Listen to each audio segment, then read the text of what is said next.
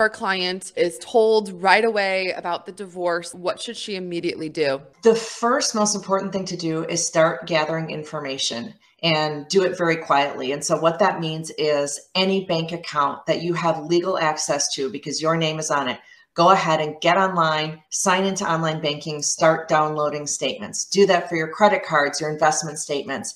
If it's a matter of you have financial documents in your house, in a filing cabinet, in a drawer, take those documents, go get them copied right away and put your copies in a secure place, get those tax returns, get it all. Because once the divorce becomes contentious, documents disappear, you lose access, now, ultimately, through the legal process, you're going to be able to get these documents. If you got locked out of the bank account, if your name got taken off the account, eventually you're going to get the statements when your attorney sends a subpoena to the bank. But if you have access to them now, there's a great advantage to taking those documents, saving them in a safe place, and knowing that you don't have to wait around for a subpoena to happen or for that divorce process to drag on.